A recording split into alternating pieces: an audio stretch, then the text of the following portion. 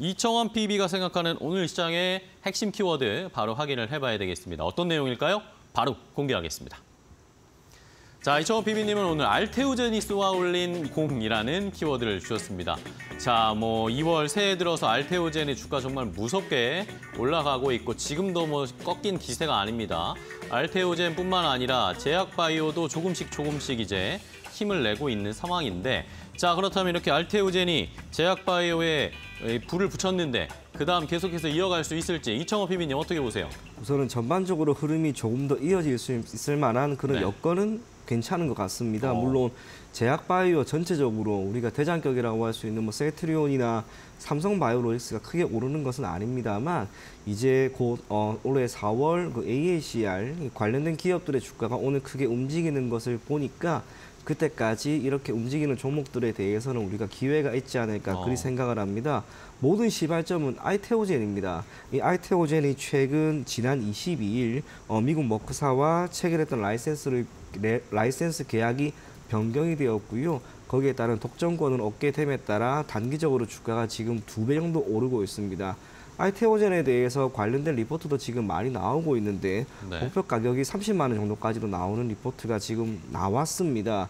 아직까지 여력 상승할 수 있는 여력이 더 있다는 것은 제약 바이오 전체적으로 움직임이 더 나올 수 있는 그런 시점이 아닌가라고 생각을 하고요. 코로나19가 발발한 이후로 백신, 치료제, 뭐 진단 키트 관련된 기업들이 그때 그렇게 많이 올랐었는데 대략 2년, 3년 큰 움직임이 없었습니다. 네. 조정이 정말 길게 나왔습니다. 그렇다면 우리가 투자의 관점에서 당연히 바닥은 아무도 모릅니다. 하지만 리스크는 어느 정도 안는다는 관점으로 지금 오르고 있는 그리고 거래량에 조금 실리면서 시장에 주목을 받는 기업들은 조금 더 눈여겨볼 필요가 있지 않을까 그리 생각이 됩니다. 네. 자, 이렇게 제약바이오 쪽에서 좀 눌려 있다가 이제는 좀 돌아 나갈 수 있는 종목 그리고 다음 달이죠. 미국 샌디에이고에서 이제 미국 아마케가 열리는데 AACR 여기에서 또 뭔가 모멘텀 받을 수 있는 그런 기업들, 종목들을 좀 솎아내 봐야 되겠습니다. 자, 그렇다면은 이청원 PB님은 어떤 종목 좀 알려주실 거예요? 네, 첫 번째 종목은 파로스아이바이오라고 하는 기업인데요. 이번 AACR에 참가하는 기업들이 몇 기업이 있습니다. 네네. 대표적으로 동사, 그리고 레고켐 바이오, 티움 바이오, 루닛, 뭐 신라젠, 에이비온 등이 있는데 그 중에 하나의 기업이라고 생각하시면 좋을 것 같습니다. 오늘 주가가 13%, 장중에 대략 25% 정도 올라갔던 기저에는 연구 결과 두 건을 발표할 것이다라고 하는 그런 기대감과 백혈병 치료제에 대한 효과를 어느 정도 보일 수 있을 것이다라고 하는 그 모든 기대감이 오늘 동사의 주가 상승을 견인하고 있는 게 아닌가 네. 생각을 합니다. 통상적으로 특정 학회에서 특정 기업이 연구 결과를 발표한다라고 하는 것은 당연히 유의미한 그리고 괜찮은 결과 거기에 대한 자신감이 있기 때문에 저는 발표를 하는 것이지 말 그대로 뭐 전혀 결과가 기대가 되지 않은 상황에서 이렇게 참가를 해서 발표할 거라고 생각하지는 않습니다. 그렇기 때문에 그런 기대감이 묻어나서 지금 주가도 오르고 있는 게 아닌가 그렇게 생각을 하고요. 동사는 상장한 지 148거래일밖에 되지가 않았습니다. 네네. 처음에 기대감이 컸습니다.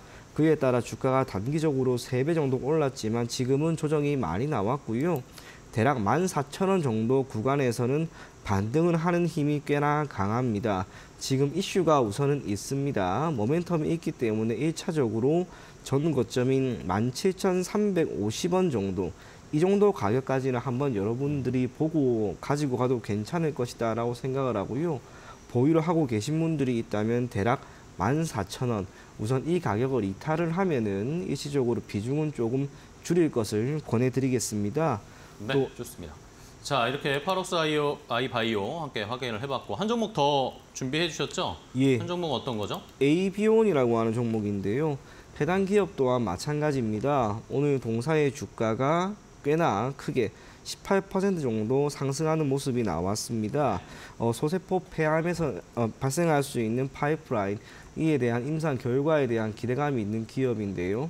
암 중에 발병률이 가장 높은 게 폐암입니다. 아직까지 치료제는 없습니다. 그리고 이번 학회에서 당장 치료제로 쓸 수 있을 만한 연구 결과가 나오진 않을 겁니다. 그럼에도 불구하고 매우 조금씩 조금씩 많은 기업들과 또 학회에서 폐암 치료제를 만들기 위한 노력이 아주 조금씩 나오고 있고요. 진보된 그리고 매우 유의미한 결과가 조금만 나온다 하더라도 거기에 대한 R&D 비용이 크게 증가해서 추후 치료제 어, 그 생산에 대한 기대감을 우리가 얼마든지 높일 수 있다라고 생각을 합니다. 그런 면에서 폐암 치료제에 대한 기대감이 다른 암보다 월등히 높은 편입니다. 그와 관련된 기업이기 때문에 오늘 주가가 모처럼 크게 오른 게 아닌가 그렇게 생각을 하고요. 상대적으로 기타 제약 바이오 기업에 비해서 주가 움직임은 조금은 다릅니다. 상대적으로 힘이 약합니다. 그럼에도 불구하고 모처럼 거래량이 실리면서 주가가 올랐기 때문에 저점은 어느 정도 확인한 게 아닌가라고 생각을 하고요. 오늘 시점에서 11% 그래도 아직 모멘텀이 있기 때문에 보유를 하고 계신 분들은 대략 7,250원 정도까지는 계속 볼 것을 권해드리겠고 6,000원이라고 하는 가격대를 이탈하면은 우선은 손절할 것을 권해드리겠습니다. 네, 알겠습니다. 자, 이렇게 두 가지 종목 제약바이오 쪽에서 골라주셨는데 AACR 미국에서 암학회 열리는 어, 참가하면서 또 모멘텀 받을 수 있는 종목들 두 개를 골라드렸어요. 자, 그렇다면 이 키워드 어, 알테우제니소알린 공이라는 이 키워드를 저희가 김태성 본부장님께도 알려드렸습니다. 이 키워드 보시고 네. 어떤 종목을 떠올리셨어요? 하나밖에 안 떠오르던데요. 네.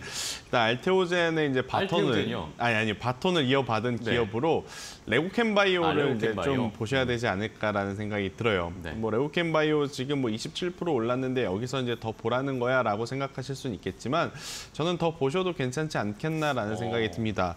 일단 결국 이제 이 ADC 플랫폼에 대한 관심도가 어, 국내뿐만이 아니라 해외에서 지금 계속해서 이제 큰 관심을 나타내고 있다라는 것을 우리가 뭐로 알 수 있냐면 사실 이제 기술 이전, 기술 수출 계약으로 이제 알 수가 있다라고 좀 보시면 될 것 같아요. 일단 레오캔 바이오 같은 경우에는 작년과 재작년 암젠이라든지 얀센과 같은 글로벌 빅파마들과 단순히 이제 이 작은 계약이 아니라 엄청나게 큰 빅딜을 지금 하면서 시장에 어, 주목을 받은 기업이다라고 좀 보시면 될 것 같고 그렇다라는 것은 이제 두 가지가 한번 해소가 된 거죠. 첫 번째는 아 그들이 이제 관심을 줄 만큼 기술력이 굉장히 많이 올라왔구나라는 것을 이제 해소시킬 수 있는 거고 두 번째로는 제약바이오 같은 경우에는 R&D 하는 데 들어가는 기관과 비용이 어마어마하지 않습니까?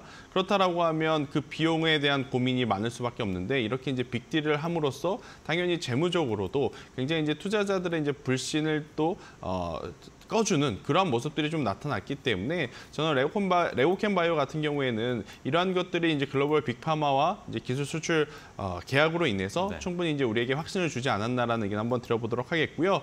이 지속적으로 ADC 시장이 계속 커져가고 있다라고 좀 보시면 될 것 같아요. 올해도 지금 계속 이제 볼륨이 너- 넓혀가고 있는데 2027년, 2028년 되면 지금보다 이제 최소 3배에서 5배 정도 또 성장을 한다라고 그래요. 그러니까 ADC 기술을 가지고 있는 기업이 글로벌적으로 봤을 때약 5개 기업이 있는데 여기에 지금 레오캔 바이오가 이제 추가가 돼서 총 6개 기업이 이제 이 플랫폼 이 싸움을 지금 하고 있는 상황이다라고 좀 네네. 보시면 될 것 같은데 당연히 이 규모의 시장, 그러니까 이 시장의 규모가 커지면 커질수록 레오캔 바이오가 또 가져올 수 있는 시장의 파이도 커지는 부분이 있기 때문에 저는 기술력을 갖고 있다라는 것을 입증을 받았기에 저는 레오캔, 레오캔 바이오 어, 단기적으로라기보다는 조금 길게 보실 분들에게는 현재 위치부터 천천히 모아가는 전략이 맞지 않겠는가라는 의견을 한번 드려보도록 하겠습니다. 네, 알겠습니다. 자, 이렇게 레고캠 바이오까지 뭐 공교롭게 오늘 두 분이 서로 상대방의 이 키워드를 보시고 신고가 행진을 펼치는 종목들을 각각 가지고 오셨습니다. 레고캠 바이오 지금 막판까지 좀 올라오면 상한가 진입할 수도 있을 것 같은데 지금 당장 접근하는 법- 것보다는 좀 조정이 나왔을 때 모아가는 전략으로 알려주셨으니까요. 시청자분들 잘 참고해 주시기 바랍니다.